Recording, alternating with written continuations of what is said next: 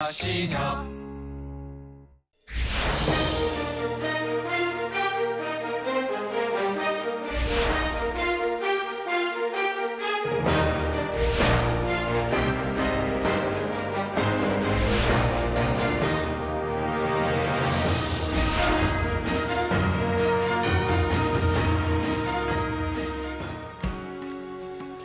시력 승자님 안녕하십니까? 이데일리 초대석의 유재입니다.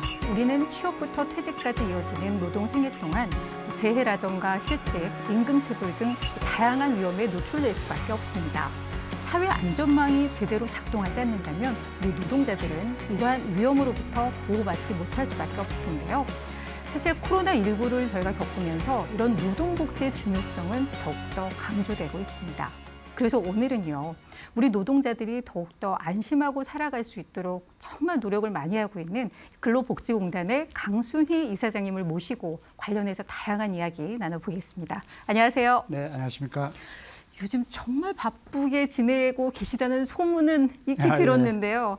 우리 공단에서 과연 어떤 일들을 하시기에 이렇게 바쁘실까 많은 분들이 궁금하실 것 같아요. 예, 지금 아마 그 도입 부분에서 압축적으로 다 말씀해 주신 것 같아요. 네. 그 일하는 사람들이 일하는 생애 동안에 그 필요한 서비스 이것을 다 한다라고 그냥 감히 말씀드릴 수 있을 것 같습니다. 어, 크게 압축하자면 이른바 노동보험. 음. 이 노동보험이 고용보험과 산재보험이거든요. 이 두 개의 보험을 가입 적용시키고 뭐 보험료 책정하고 징수하고 음. 산재보험은 저희 사업을 직접 하고요. 고용보험은 이제 그 사업 집행은 뭐 고용센터라든가 뭐 직업훈련 기관이라든가 이렇게 합니다. 그 두 개의 보험 관련한 사업이 있고요. 또 하나는 저희들이 병원이 있습니다. 음. 아, 출발은 산재병원에서 출발을 했지만 전국에 이제 10개의 병원과 3개의 의원이 있는데 이런 그 병원을 지금은 지역 거점 공공병원으로서 특히 코로나19 상황에서는 그런 바이러스 전담 병원 이런 역할까지 하는 병원이 또 하나 있고요. 그리고 무엇보다도 코로나19에서 저희들 역할이 두드러진 게 이른바 그 어려운 노동, 노동자와 영세 사업자 소상공인 이 특수고용 노동자를 포함한 이런 분들을 위한 각종 융자 지원 사업, 어, 일자리 안정자금 어, 사업 등등의 이런 근로복지 사업이 있습니다. 이런 삼대 축으로 어, 예, 예.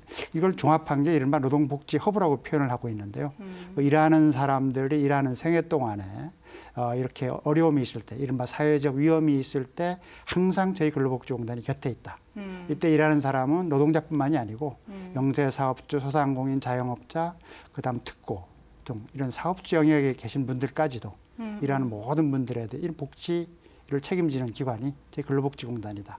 이렇게 그러니까 뭐 말씀드리. 예. 노동자들의 어떤 뭐 안전 또 경제적인 문제 예. 이 모든 것 그러니까 복지와 관련된 뭐 모든 일은 하고 있다라고 그렇습니다. 이해를 하면 될 것 같은데요. 예, 예. 앞서 잠깐 언급을 하셨지만 저희가 지금 코로나 19로 노동자들이 너무 힘든 예. 시기가 됐습니다. 그래서 아 우리 공단이 분명히 많은 역할을 했을 거라고 생각을 하고 예. 했어야 했죠. 예, 예. 어떤 역할을 좀 했다고 보십니까? 뭐 아주 제일 아마 바쁜 공공기관이었지 음. 않나 생각이 들고요. 제가 그 코로나19와 함께 취임을 했는데요. 작년 2월 24일이었습니다. 예. 취임식을 못하고 대신 이 코로나19 대응을 위한 그 긴급 확대 음. 간부회의로 대체할 정도였거든요. 어, 당장 코로나19로 인해서 산재 처리 기준이 마련해야 됩니다. 음. 코로나19에 종사하는 의료진을 포함해서 그리고 서비스 전달자분들이 어, 산재를 당했을 때 안심하고 일을 할 수 있어야 되니까 음. 그런 그 산업재해에 대한 기준을 마련 포함해서 어 그리고 그 저희들 병원 말씀드렸습니다마는 이 병원이 또 공공병원이기 때문에 또 산재 전담병원으로 전환을 시켜서 음. 전국에 다 이렇게 포- 포진이 돼 있는 대표적인 공공병원이 저희들밖에 없기 때문에 예, 예. 예, 그런 병원을 또 이 감염병 전담병원으로서 운영하고 선별진료소 운영을 하고 하는 그런 아. 역할을 또 했어야 됐고요. 그리고 그 이 고용보험을 포함해서 이게 또 그 어려운 분들이 갑자기 많이 생겨나기 때문에 네네. 이분들이 일자리를 잃기도 하지만 소득이 급감하기도 하고 음. 임시적으로 그 일, 일, 일을 쉬어야 되는 휴직 네네. 이때 각종 지원금이 나가야 됩니다. 음. 이런 지원금 사업도 저희 근로복지공단이 했어야 됐고요. 음. 그 외에 일자리 안정자금, 뭐 기부금 사업을 가지고 하는 각종 지원 사업들 그리고 우리 전통적으로 하는 또 체불 노동자가 많아졌습니다. 어, 이런 체불 임금에 대해서 그리고 그 늘상 이제 우리가 또 확충하고 있는 그 퇴직 연금 사업이 있습니다. 예. 예, 중소기업에 대한 퇴직 연금 사업들도 아무리 어려운 시기지만 노후와 어, 노후 소득도 보장하고 그 이후에 이제 그 퇴직금 이런 걸 뛸 우리가 있기 때문에 그런 걸 또 보호해준 역할도 또 건실히 해나가야 되겠어 요 퇴직 연금 사업 이런 부분들 온갖 사업들이 이 코로나 19와 함께 저희들이 아주 집중해서 할 수밖에 없는 그래서 그거에 정신이 없이 어, 지금까지 뛰어오고 있다 이렇게 말씀드릴 수 있을 것 같습니다. 사실 우리 공단이 그동안도 이 노동자들의 복지를 위해서 정말 애 많이 썼는데 오히려 이 코로나 19를 통해서 그 가치가 더 빛이 났던 뭐 그런 시기가 아니었나라는 또 예, 뭐 예. 예, 적절히 지적해 주신 것 같습니다만. 전 전반적으로 좀 위기였습니다만은 음.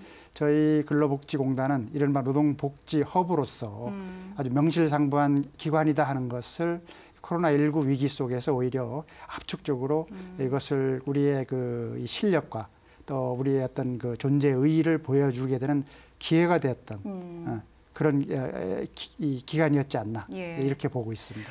잠깐 우리 이사장님과 좀 연관된 질문을 좀 드리자면 그동안 우리 공단에는 고용노동부에서 관료분들이 이사장으로 아, 예. 거의 다 내려오셨었는데 그러니까 민간 출신이시잖아요. 예, 제가 처음입니다. 처음이시고 예. 그래서 우리 이사장님을 보면은 뭐 노동 경제 이쪽 복지 이쪽 전문가로 많이 또 알려져 계시는데 예.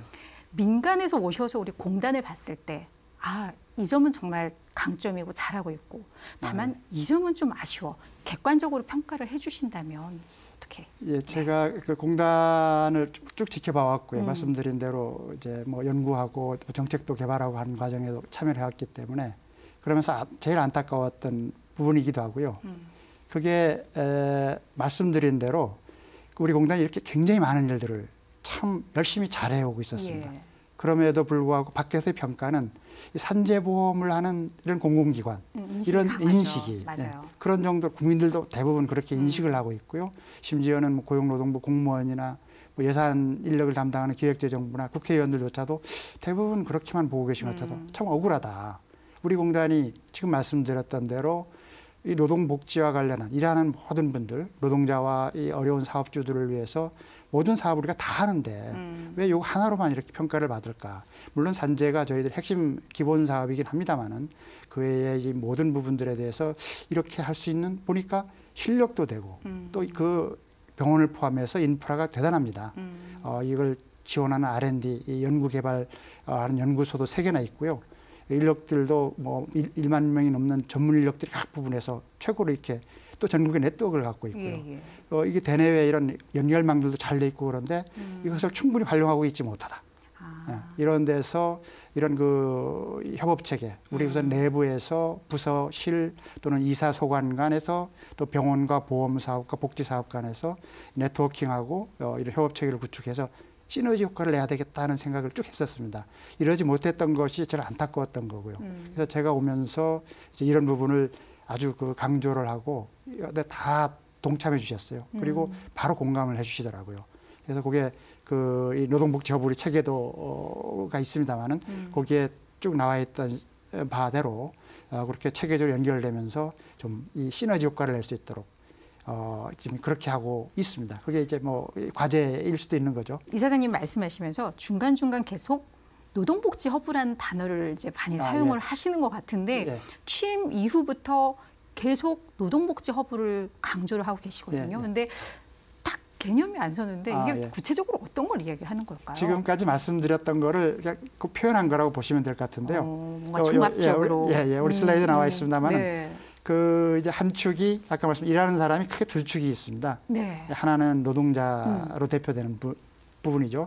이분들이 노동생이면 취업에서부터 이제 퇴직할 때까지 않습니까? 네. 이 기간 동안에 어려 그 나타날 수 있는 이른바 사회적 위험이라는 게 일하다가 다치거나 병들거나 또는 죽거나 하는 음. 이른바 산재가 있고요. 일자리를 잃거나 소득이 급감하는 고용보험이 있고요. 또 임금을 못 받거나 하는 임금 체불이 있고요.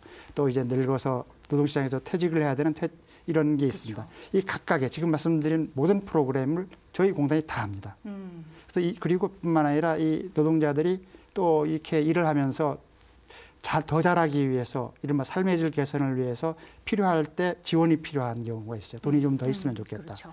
어, 결혼할 때, 애를 낳아서 기를 때, 또 자녀 학자금 필요할 때, 또 심지어는 뭐 각종 그 축제로서 노동자 축제 어, 이런 부분들 또 어려움이 있을 때 상담도 해야 되고 이런 거 있을 때 지금 말씀드린 요 이런 부분에서 각종 지원 사업들이 다 또 저희들이 합니다. 예.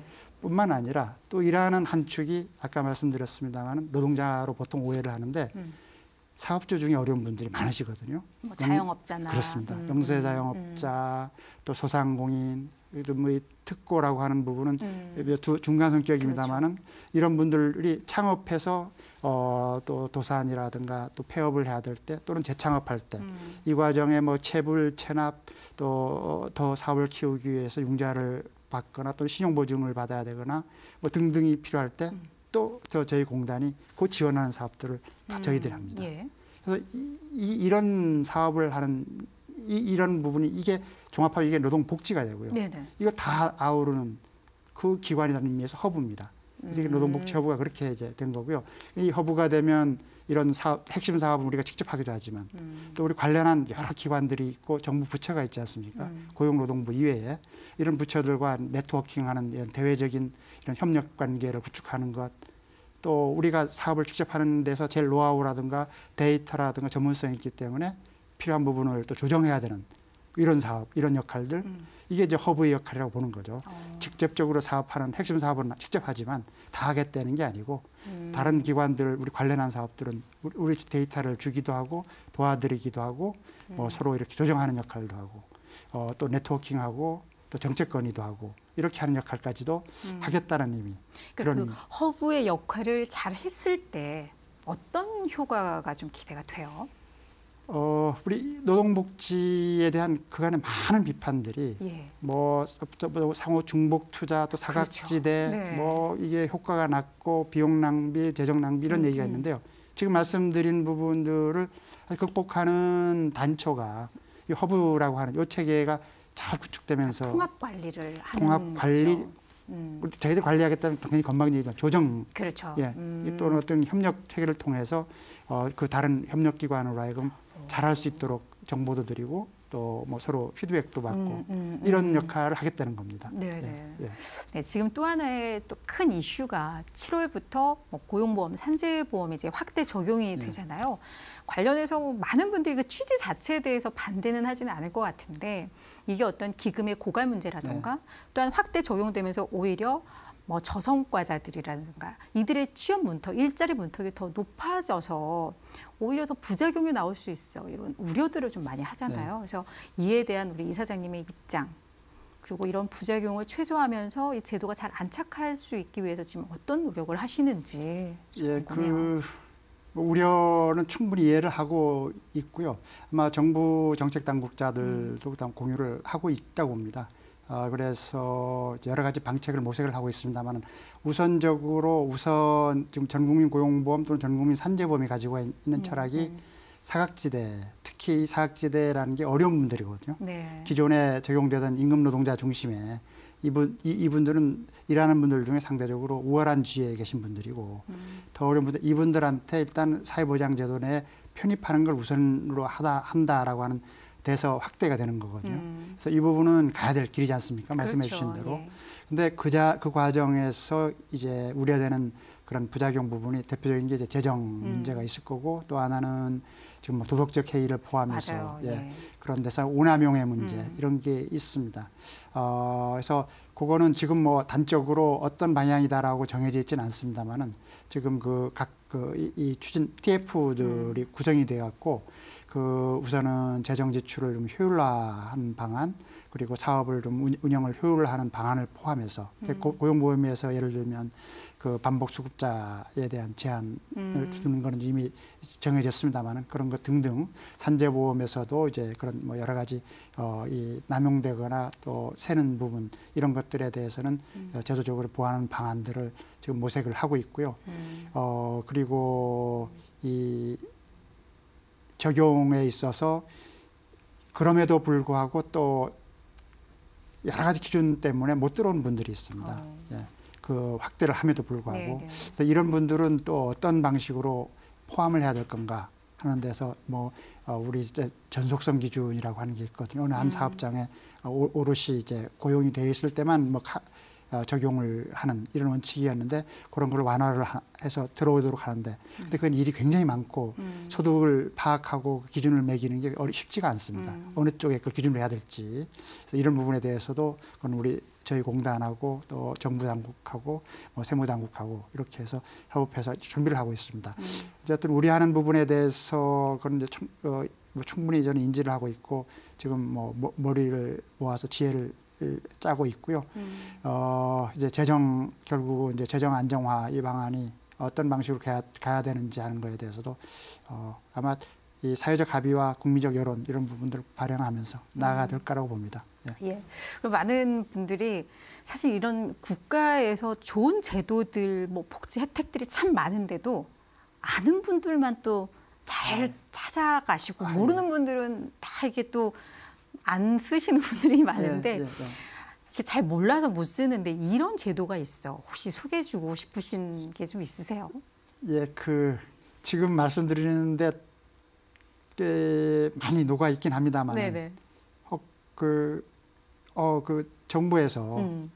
예를 들면 우리 그 일하는 여성분들 일가정 양립이라고 얘기 지금 일생활 균형이라고 예, 그런다만 예, 이런 분들 직장 어린이집도 근로복지공단이 해? 음. 예, 당연히 하고 있고요. 네. 전국에 어, 지금 27개가 있다가 올해 이미 4월에 다섯 개를 추가 개원했고요. 주로 이제 산업단지 이쪽에 있는 단지 건가요? 쪽인데 지금 네. 지역 거점이라고 그래서 오.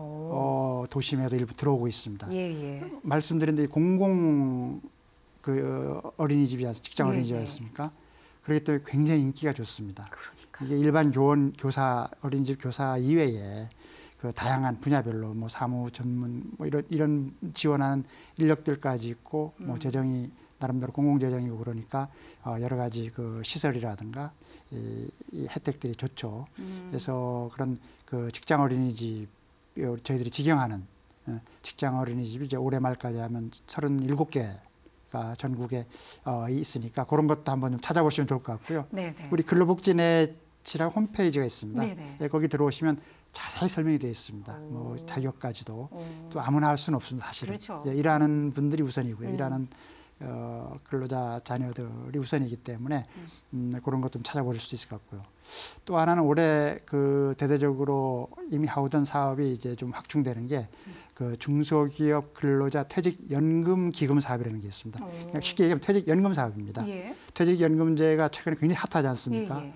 이제 이게 그 노소득 보장 장치이자 또 퇴직금이 뛰지 않도록 네네. 하는 뭐 이런 건데 이게 우선 전체는 그렇고 그 근로자 30인 미, 이하인 중소기업 음. 근로자 분들을 위해서 저희 공단이 어, 그 퇴직연금 사업을 해오고 있었습니다. 음. 요거를 이제 기금 사업이라고 그래서 고용보험 기금, 뭐 국민연금 기금처럼 이 돈을 기금으로 운용을 해서 더 안정적으로 이제 올해 아, 내년 올해부터 시행은 하지만 시- 실제 적용은 이제 내년 4월부터인데요. 예, 예. 어, 이렇게 해서 이제 하는 이, 이 사업이 있습니다. 음. 이것도 좀 관심을 가지면 굉장히 안정적이면서도 그 수익률도 높은 음. 어, 어, 이런 사업으로 해서 노소다 소득을 좀 안정적으로 이렇게 확보해 나갈 수 있는 이런 그러니까 제도가 이 있습니다. 30인 미만의 중소기업에서 그러니까 본인들이 이 퇴직금을. 운영하는 게 아니라 그거를 공단에 예. 맡기면 예. 공단에서 그거를 기금화해서 그렇습니다. 운영을 해주는. 예, 어, 예. 그러면 수익률이나 이런 거에 있어서도 아무래도 이 전문가들의 손길이 닿으니까 그렇습니다. 예. 좋을 수도 있겠네요. 예, 저희 전문소득 그 최소 수익을 보장해 드립니다. 그리고 아. 다른 연금 기금과는 달리 아 그래요? 아, 예, 그렇게 되면 이게 우리 또 세금으로 그분들의 퇴직금까지 지원하냐 이런 말들이 나올 수도 세금, 있을 것 같은데. 게 아니고요. 예, 예. 그러면 그만큼 이제 우리에 대한 운용 기술이 필요한 거죠. 예, 그 기술에 여러 가지 이제 음. 노하우들이 있습니다. 예, 예. 수익률은 약간 일반 그 모험 벤처나 이거보다는 낮추긴 하지만 음. 안정적으로 운영할 수 있는 기반을 만들어서 뭐그 여러 가지 그 운영 운영 구조를 그렇게 가져가는 걸로 지금 네, 기획을 하고 있습니다. 말씀해 주신 것도 우리 중소기업 운영하신 분들은 꼭 한번 체크를 해보셨으면 아, 이미 좋겠어요. 그 한 3조 2천억 원 정도의 그 중소기업 사업주들이 이미 가입을 하고 있습니다. 예. 예. 네. 그, 한, 이, 마, 그, 이미 가입을 하고 있는데 음. 아직 그게 한 20%밖에 안 되는 거죠. 네. 한 80%에 해당되는 중소기업 어, 분 아직 음. 그 모르고 있거나 또는 가입을 안 한 상태이기 때문에 네네. 예, 이런 데 계신 사업주들 또는 근로자들이라면 음. 적극적으로 이 중소기업 퇴직연금 기금 제도를 네. 활용할 필요가 있겠다 이런 예. 생각이 듭니다. 알겠습니다. 그리고 이제 임기 동안에 우리 이사장님께서 정말 역점을 두거나 이거는 정말 꼭 하고야 말겠어. 뭐 혹시 그런 사업이 있다면 말씀해 주세요. 어, 욕심을 아까 말씀드린 대로 그 어떻게 보면 소박하게 시작을 했지만 굉장히 또 쉽지 않은 사업이 음, 음. 노동복지 허브라고 하는 네, 네, 네. 요거를 좀 제대로 정착시키고 싶다는 겁니다. 음. 그래서 이 사업을 그림을 그리는 게 중요한 게 아니고요. 물론 이제 그게 전체 그림을 그리고 우리 내부 구성원들이 그 공감하고 공유하고 어, 이 같이 힘을 합치는 것도 있고 또 외부에서도 인정하고 평가해 주는 것도 중요합니다만은 이게 될 수 있도록 하는 기반을 마련하는 게 중요하거든요. 그 기반의 핵심은 전 데이터에 있다고 봅니다. 어, 아까 이제 질문도 해주셨고 답을 드렸습니다만은 저희들이 가진 굉장히 소중한 데이터가 네네. 있습니다. 그래서 이 데이터들을 제대로 활용할 수 있도록 좀 구축을 하려고 합니다. 그래서 음. 빅데이터 센터도 만들었고요. 이 빅데이터 센터가 중심이 돼 갖고 이 데이터들을 제대로 그 업무를 효율하고 우리 직원들이 일하는 방식 또 일감 일을 제대로 있는 일을 할 수 있도록 하는데 더 할 수 있도록 하- 하는 것도 필요하고요. 무엇보다도 우리 고객들 국민들이 더 그 효율적으로 쉽게 그리고 더 많이 음. 더 풍부하게 혜택을 받을 수 있도록 그 효과를 높이는 그런 거를 구축하고자 한다면 음. 이 데이터 기반의 이 노동복지 전달 체계 구축하는 것 요거 하나만큼은 제가 좀 어, 아주 집중적으로 음. 잘 해놓고 싶은 게 있고요. 물론 노동복지 협으로서 우리 내부의 어, 그 협업 체계 구축 예, 그 말씀드렸던 칸막이들이 있습니다. 예, 예. 어, 이것들을 좀 허물고 어, 좀 어, 융합하고 협업하고 어, 이래서 시너지 효과를 극대화해서 노동복지협으로서 아주 최고의 공공기관으로 음, 어, 국민들로부터 환영받는 네. 어, 그런 공공기관으로 자리매김하는 기반을 마련하는 게 아, 네. 예, 예, 제 욕심입니다. 자, 이제 마지막으로 우리 시청자님들께 아, 예. 네, 한 말씀 해주신다면요. 예, 그 코로나19 때문에 다 어렵습니다만은 특히 우리 일하는 분들 더 어려움이 있는 걸 알고 있습니다. 어, 근데 이제 뭐 우리 백신도 있기도 하고요. 그간 그, 어, 정부도 그렇고 저희 공단도 열심히 해왔습니다. 그 어려움 곧 극복이 될 거라고 믿고 저는 우리 국민들의 저력을 믿거든요. 그간 어, 우리가 마의 부양위기 때도 그렇고 그 이후에 97년 위기 때도 그렇고 아주 성공적으로 이겨낸 사례들이 있고 그게 오히려 기회가 되었던 어, 이런 저력이 있는 어, 국가 또 국민이라고 믿고 있기 때문에 어, 이, 이번에 코로나19 팬데믹도 잘 이겨낼 수 있을 것 같기도 하고요. 그래서 어, 조금 더 희망을 가지고 좀 음, 에, 이, 버텨주십사 노력하십사고요. 저희 근로복지공단 일하는 모든 분들의 희망 버팀목으로서 어, 어, 거기에 힘을 에, 보태고 어, 밑거름이 되도록 아주 굳건하게 일을 하겠습니다. 또 많이 성원하고 지켜봐 주시기를 부탁드리겠습니다. 네. 고맙습니다. 아유 우리 이사장님 뭐 일복 많으신 분으로 유명하세요. 취임과 동시에 뭐 각종 많은 일들이 네. 몰려왔는데 전 이렇게 일복 많은 분이 근로복지공단의 이사장님으로 계셔서 한편으로 참 좋습니다. 저희 노동자들이 더 행복한 세상을 좀 만들어 주시기를 저도 응원을 하겠습니다. 예, 고맙습니다. 네 오늘 함께 해 주셔서 고맙습니다. 예, 감사합니다.